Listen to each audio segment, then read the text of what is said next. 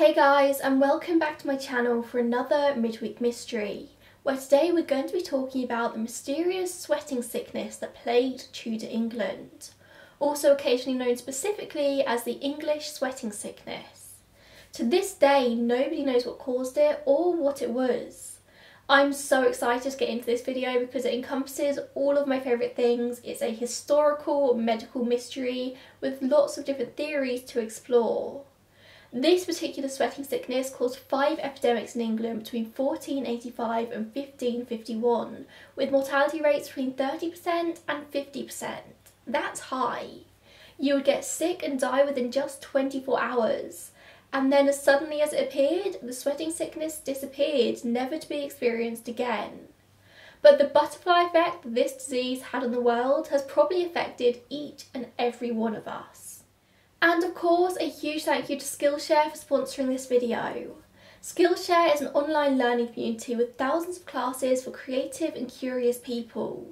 With Skillshare, you can explore new interests, develop existing interests, and get lost in your creativity. One of my absolute favourite hobbies at the moment is just browse Skillshare and see what new thing I can learn about that day, whether that's cooking or yoga or how to make my YouTube videos better. I can always find something that's going to take my fancy. And this month I want to recommend a fantastic class by Hallease Narvaez called Video for Instagram, Tell an Engaging Story in Less Than a Minute. Since I steered my YouTube away from lifestyle content and started focusing purely on the educational aspect, I've been wanting to figure out how to share more of my life within my boundaries on Instagram, as some people say they miss that kind of more personal content. But I'm the kind of gal who loves long form content. Most of my videos are around half an hour long. I struggle to be succinct. So short, snappy Instagram videos and reels are something completely out of my comfort zone. In this class, Hallease works through the technique of storytelling as well as the technical aspect of it all, how to use different filming and editing techniques to get your narrative across if your words can't. This class is great if you're a complete beginner or if you're a seasoned creator, just looking for bursts of inspiration, or somewhere in the middle, just like me. Creative challenges and productivity classes can be a great way to help you structure your time and set up achievable goals. Whether you're wanting to just fend off boredom or focus on self-care through creativity, learn how to use your skills for social good, or just become part of a creative and encouraging community, Skillshare is the best place for you whatever you're interested in learning about, I can almost guarantee there's a class waiting for you on Skillshare. The first 1,000 people to use the link in my description to sign up to Skillshare will get a free trial of Skillshare Premium membership and then after that it's only around $10 or around £7 a month. So to begin with this story, we need a little bit of historical context here, but I'll try and keep this as brief as possible. We start in 1485 and the War of the Roses is finally nearing its end. This was a civil war fought for the throne of England, each house represented by a different coloured rose, hence the War of the Roses. In the end, Henry Tudor, better known as Henry VII, defeated King Richard III at the Battle of Bosworth, thus beginning the Tudor reign. It's speculated that the sweating sickness may have even contributed to Henry's win, when Lord Stanley, who contributed about 30% of Richard III's army, had to pull out of battle because his army suffered from the sweat. Although he did change sides to the Tudors the last minute, and this may be more of a contribution towards their win than apparent sickness that we don't even know for sure actually happened, it might have just been an excuse. But Henry VII arrived in London shortly after his win, and it was there just three weeks later that the sweating sickness made what was thought to be his first proper appearance in London in September 1485. Some think that it may have been Henry's army coming back across the channel from France that may have brought the sweating sickness to Britain, but there's no record of it being on mainland Europe at this time, so probably not. But there's also speculation that it may have appeared in Britain two years earlier in 1483 due to a mention by Erasmus, and then it reappeared again two years later in 85. Or according to the York Civic Records, maybe even first made an appearance in the northeast area of England in June 1485, three months before it appeared in London in September. So long story short, we're not entirely sure when the sweating sickness first appeared in Britain, probably around 1485 though. This first epidemic burned quickly around England for just six weeks, killing about 15,000 people before disappearing. There would then be four further epidemics before disappearing forever, hopefully. Just like the 1485 epidemic, the next four would all take place in the summer months of 1508, 1517, 1528 and 1551. In 1525, the population of England would have been only a little over 2 million people. To put it into perspective, the population of England today is just over 55 million, and London alone houses almost 9 million people. So a single epidemic wiping out 15,000 of these people would have been pretty bad. And this did pretty much only affect England. There were very few cases found over the borders in Scotland and Wales. It did travel to mainland Europe at some point in the 16th century, most notably to Hamburg, where a few thousand people died in just a few weeks, and then from there it spread across Eastern Europe. But in each place in Europe, it would just burn for a couple of weeks before dying out, and then after that, it's never seen again on mainland Europe.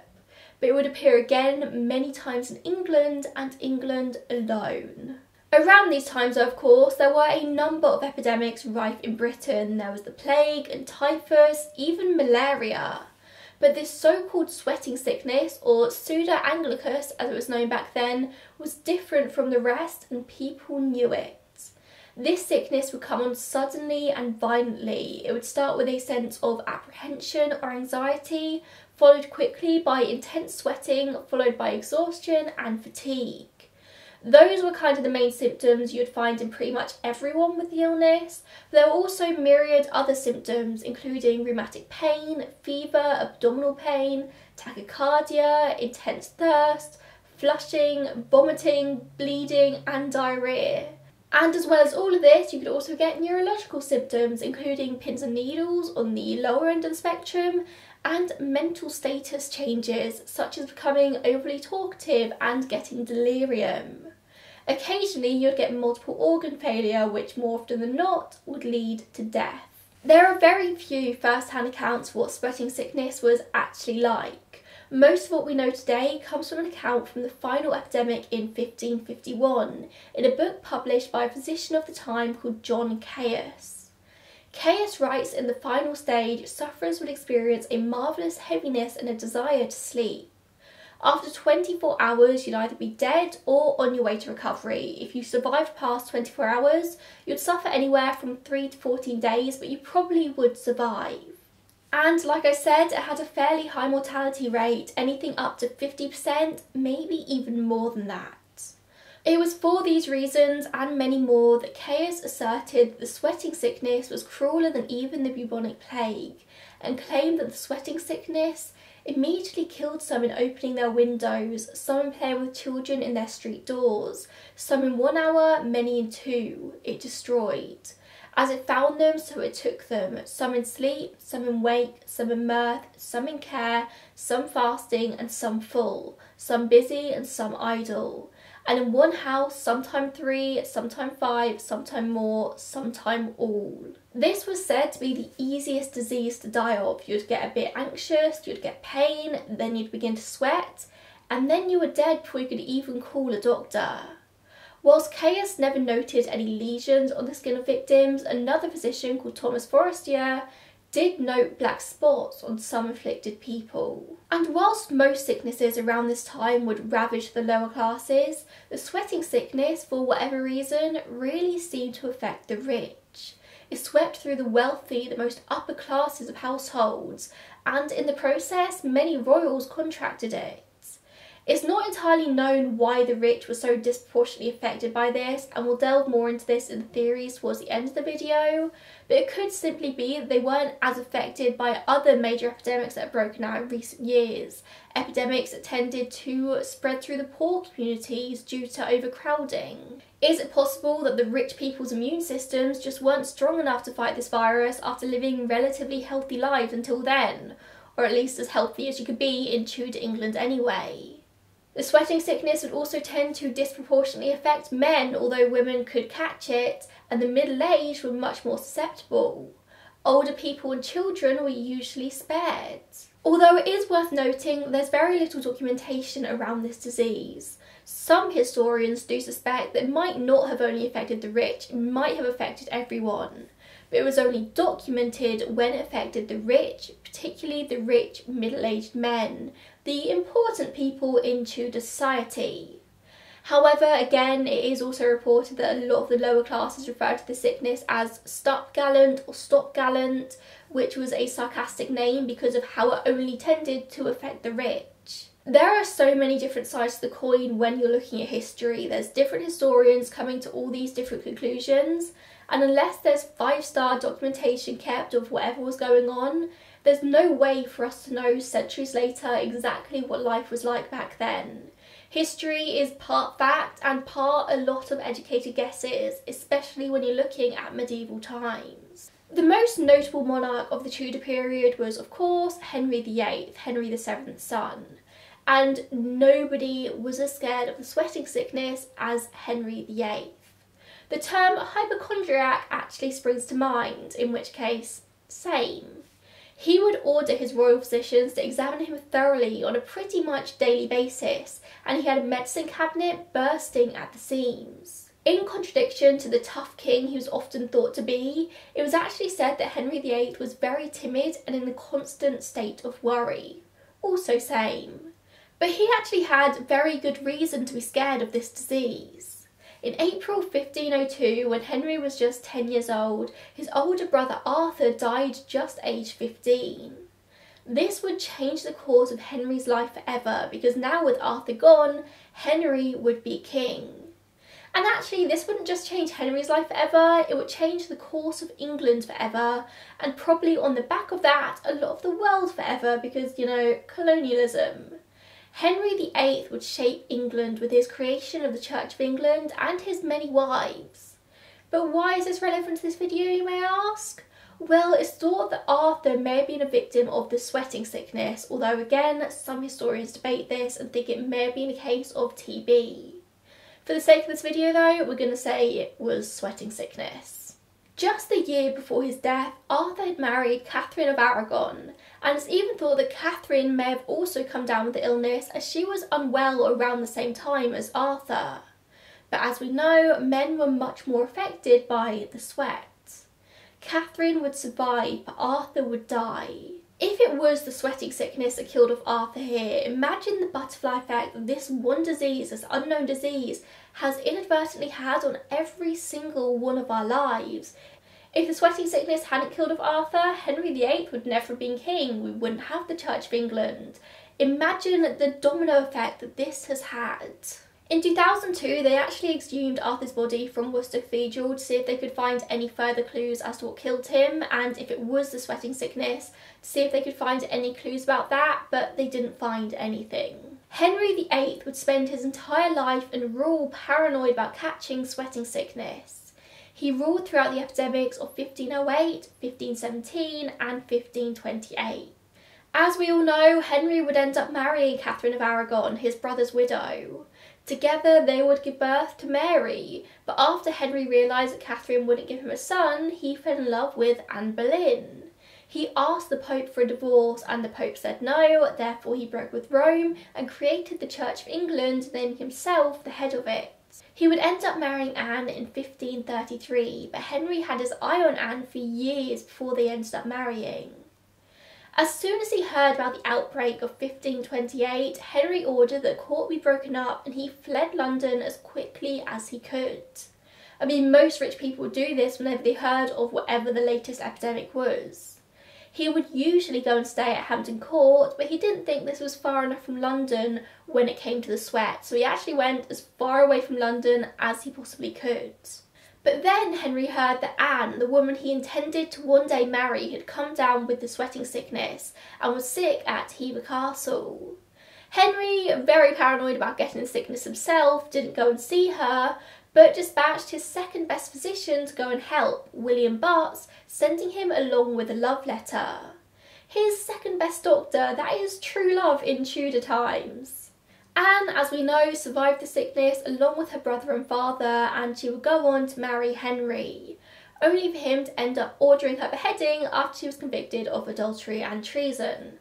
might have been better to just die of the sweating sickness. Many close members of Henry's court would come down with the sickness around 1528, including his chief advisor Thomas Wolsey. I would say it was pure luck that Henry never got ill, but that's probably not actually the case. He was way ahead of his time and did the 16th century version of self isolation as soon as he heard any whisper of illness. I mean, think how scared humanity is of COVID 19 now when we have a solid scientific understanding of how disease works and how we can avoid it as best we can.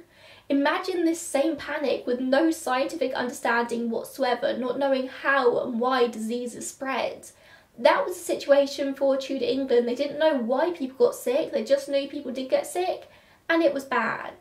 The last epidemic happened after Henry died in 1551, and it thought that this was a much less fatal branch of the disease. It didn't quite seem to have the same effect on the population that it had before, and it thought that the virus had just mutated over the years into something less scary. This final outbreak is said to have begun in Shrewsbury around April of that year, where it killed a thousand people before spreading further afield. Yes, this was a less deadly variant, killing a thousand people. It was bad. Although we don't know in total how many people died of the sweating sickness, it's likely that it would have been in the hundreds of thousands. By October of that year, it had all died out and it was never to be seen again. Maybe. I say maybe because an illness called the Picardy sweat would appear in the northern province of Picardy in France in 1718.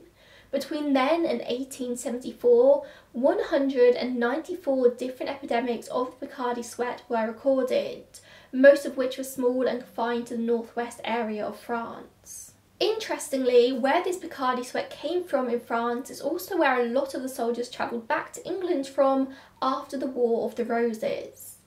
And as you can probably guess by the name, the Picardy sweat, it had a lot of similarities to the sweating sickness, but not quite enough similarities to say for certain that it was the same.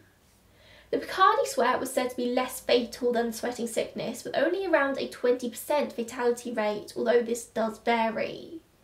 In some of the Picardy epidemics, there were no deaths with very mild symptoms, others had fatality rates of 30 or 40%. There was even an epidemic as late as 1906 in Charente that wiped out whole families in just a few days. With Picardy, if you didn't die within 48 hours, you'll likely survive, compared to the 24 hours of sweating sickness. You would get a tight chest and feelings of suffocation and great distress, but your lungs, heart, and cardiovascular system would be unaffected. You'd have a curious sensation in the limbs and joints like air was moving inside. If you're going to be one of the ones that die of Picardy, you would get delirium and collapse, death occurring within just a few hours of its onset of symptoms. But if you made it past the 48 hour mark, you would get one hell of a rash that would start in the neck and the trunk and spread out across most of the body, but it would always stop at the wrist, strangely, it never went on the hands. This rash was not a feature of the English sweating sickness, but both diseases did feature intense sweating. Whilst the sweating sickness appeared most in urban, heavily populated areas, the Picardy sweat would appear most in rural areas and rarely touch the cities. All of which I suppose brings us nicely to the theory section of this video. There have been so many theories as to what exactly this sickness was. Is it something that we experience in everyday life now? Is it something completely extinct? What caused it? Some think it was a divine intervention from God who was angry at Tudor rule, but probably not. We're going to be looking at scientific theories here rather than anything theological. Now these are all things which we speculated in the past and or speculated now. First we'll blast through some of the more easily discounted theories. It wasn't typhus because of the speed of the disease. Typhus is more of a slow burner, whereas sweating sickness will kill you within a day, as we've covered. You also don't typically get sweating with typhus. It wasn't influenza because you generally wouldn't get any respiratory symptoms. It wasn't the plague because none of the symptoms matched up. But something which has been recently theorised is anthrax, which was suggested by microbiologist Edward McSwegan after the 2001 anthrax attacks across the USA. It had never really been thought of as a possibility before this point because documented cases of inhalation anthrax were very rare, and sweating wasn't a noted symptom of the more common forms of anthrax, cutaneous and gastrointestinal. But it was a symptom when it was inhaled, along with exhaustion and sudden onset. But anthrax is much more deadly than even the sweating sickness was, as even with treatment, the mortality rate is 45%. But anthrax could explain the mysterious black spots that only some victims had, as noted by Forestier. Cutaneous anthrax, which is when anthrax gets into the skin through a cut or a wound, can cause skin lesions. Anthrax can be contracted through anthrax spores in wool, which might be the likely option here, although even McSwegan has admitted that inhalation anthrax would have been rare before industrialised wool production. This theory, as with all the others, has its holes, but honestly it's not one that I want to write off completely. We could potentially get some answers here by digging up victims of the sweating sickness and testing their bodies for anthrax spores, but even then, it's not 100%. These bodies are 500 years old, so who knows how well they'd be preserved. Next, let's explore the theory of ergotism. If you watched another one of my historical mystery medical videos on the dancing plague, then you may recall this. If you didn't, then ergotism is the effect of long-time ergot poisoning, which is a type of fungus that mainly infects rye. The symptoms of this include convulsions, painful seizures and spasms, as well as mania and psychosis, headaches, nausea, vomiting. You'll notice a lack of sweating in that list though. All in all, this theory really isn't that strong, mostly because of the fact that at the time rye wasn't commonly used in England, it was more common on mainland Europe, and it wouldn't have really been something that people consumed here on a daily or even weekly basis. So it probably wasn't ergotism.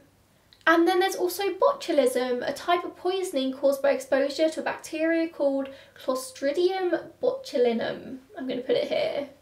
These bacteria manufacture a chemical poison, a toxin, which is known as botulinum, which in a human interferes with muscle function in many areas of the body, leading to paralysis of groups of muscles. It's pretty life-threatening as it can affect the diaphragm and therefore your breathing. You can be exposed to this bacteria by eating contaminated goods. It exists in dirt and dust as spores, but generally isn't activated until it's moved to a low oxygen environment, such as an enclosed jar or can. In the USA, about 100 people become ill with botulism every year, so it's rare but it's not impossible. But of course, Tudor England wouldn't have had access to canned goods, so how was this theory relevant here? It was actually found in Germany around this time, and fish and sausages were blamed for the outbreaks. But then again, due to geography, it seems unlikely that the cause could have been the same in England. So that's another theory that a lot of people strike off the list, but it's a theory. Another common theory is that of dengue fever, a mosquito-borne virus that causes severe flu-like illness, including some pretty profuse sweating. Now you're probably thinking, mosquito-borne illnesses in the UK? Really? Although we do have native mosquito species here, they're generally not disease carrying. But a lot can change in 500 years. The sweating sickness actually occurred only in summers, at the beginning of a 300 year period of cooling across Europe. The weather would have fluctuated a lot back then, and summers likely would have been significantly warmer than they are now, and they would have followed a long period of rainfall and extensive flooding which could also explain why only England was really affected. The higher, colder and drier parts of Britain, such as Wales and Scotland, would have been less infected with mosquitoes who would have thrived in this wet environment. I mean, there's even evidence that malaria was once indigenous to the UK and therefore other mosquito-borne illnesses easily could have been around. In most cases, dengue tends to be mild, but it can progress to something much more severe.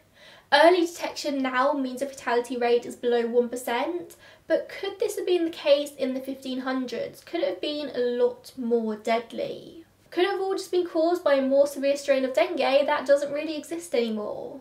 Relapsing fever is a disease spread by ticks and lice, which of course were very common in Tudor England.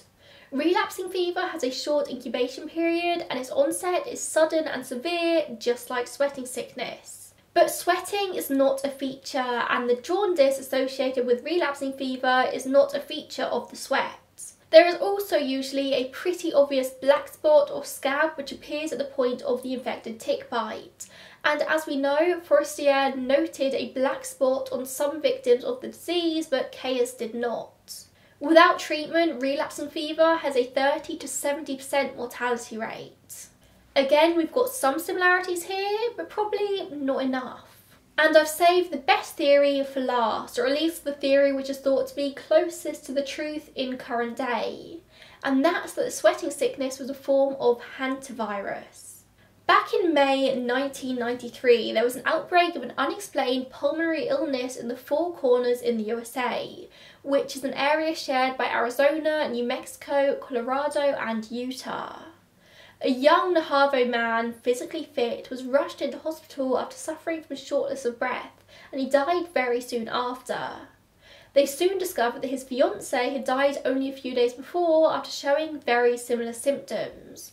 So, an investigation was launched in New Mexico, and authorities found they couldn't identify the death as being caused by any known disease. After much testing, they were able to link this disease to a previously unknown type of hantavirus. Hantaviruses are transmitted to people by rodents, mice, and rats. So basically, these medical professionals spent that entire summer in the Four Corners region trying to trap every type of rodent they could. And they found that the deer mouse was a host of this particular hantavirus that they had found in these humans. About 30% of the deer mice captured had hantavirus. This virus was eventually named the Muerto Canyon virus, which was later changed to the Sin Nombre virus. It was actually incredibly impressive how fast they were able to isolate this virus and get some answers. Out of 23 victims in the Four Corners outbreak who got hantavirus, 10 of them died.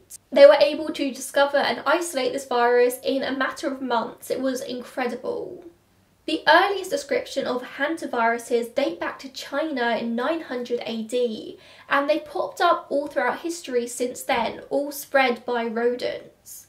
Hantaviruses are known to be accompanied by profuse sweating, and the incubation time of sweating sickness was thought to be around 44 days, if you follow the timeline of the soldiers coming back after the War of the Roses, which also falls in line with the incubation period of hantavirus.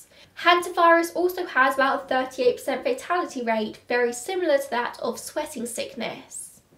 You probably assume that you get hantavirus from a bite from a rodent, but actually that's not the case because as you can imagine, rodents don't actually bite humans all that often. You get the hantavirus by inhaling aerosolized rodent urine or feces. There's only one recorded outbreak in which it was transmitted person to person. You don't get hantavirus just by being in the vicinity of somebody with hantavirus. You get it by breathing in rat poop. But this actually makes a lot of sense as to why this disease seemed to disproportionately affect the upper classes. Every middle to upper class household in Tudor England had a housekeeper, maid to take care of the house and make sure that it remained clean. As soon as any rodent droppings were found, they were quickly swept away. But this may have been their downfall. Sweeping up the droppings would release the hantavirus loaded dust into the air for all the people to breathe in. The poorer communities may have actually been saved by a lack of hygiene. If rat droppings were found, they were generally left alone. And poorer people would generally have spent more time out in the open because the houses weren't anything special. Actually, the houses were just rooms with a lot of people shoved inside. Rich people actually spent a lot more time inside their houses just breathing in the rat poop dust in the air.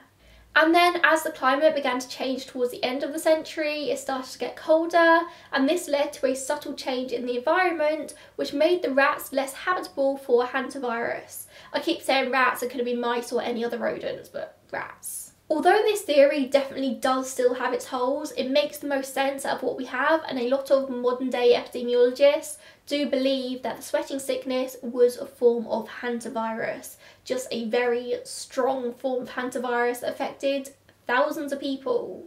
It could have been something as simple as a rat coming over on the ships from mainland Europe and the virus mutating into the sweating sickness, maybe it was the same as Picardy sweat, but the strains mutated differently. Maybe, we don't know.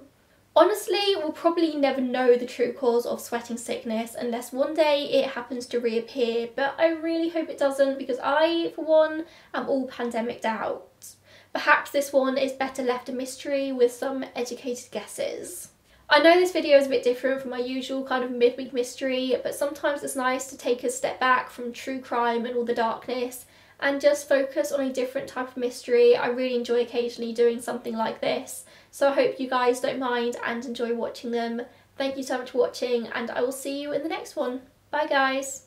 Oh, and let me know if there are any other medical mysteries you'd like to see me cover. I'm always looking for new medical mysteries.